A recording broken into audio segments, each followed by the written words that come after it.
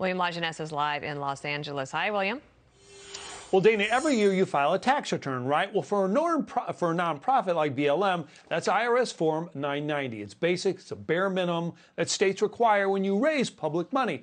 So listen to what founder and BLM's longtime executive director said Friday about the 990 and this controversy about how the charity has spent its money.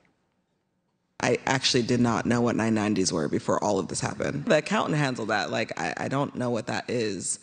Um, it, it is such a trip now to hear the word, the, the, the, the term 990s. I'm like, it's like triggering.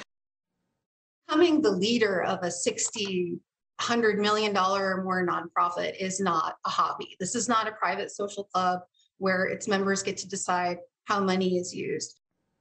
So, watchdog groups have slapped a big red flag on BLM, saying they see no paper trail, no financial statements, no documents in the last 22 months explaining where up to $90 million came from or how it was spent. For us to not know in a timely manner how 60 to 100 million dollars of public money is being spent is pretty outrageous, and it's definitely not something that I have seen in my 18 years of, a, of you know functioning in this watchdog role. So the last 990 that BLM did file, January to June 2020, showed the group raised no money, spent no money, and paid no employees, despite donations nationwide during the protests following the death of George Floyd. Cullors says that no 990 having it, no big deal. And some disagree and have opened investigations.